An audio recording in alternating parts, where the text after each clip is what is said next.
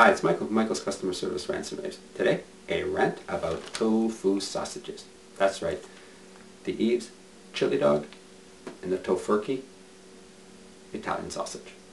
So, initially, I used to really enjoy having these products. They had excellent flavor. They were filling. I'd have three of these or two of those. Yeah, that's what I needed. I'm a guy, okay? One is just not enough. However, three Eve sausages, that's 51% of your daily salt allowance. Two of the Tofurky is 50%. That's way too salty. What are you doing with all that salt? It's not like you have to preserve the tofu. No. So, reduce it by 80%. That would be my suggestion. Yeah. Remember Principle 12 from the 31 Principles of Customer Service. It's about quality. And in this case, that means don't poison me. I'd really like to rave about these products, but I cannot. So, concoct a new recipe without all the salt and send me a sample. Get in touch with me here at michael at mcsrandr.com.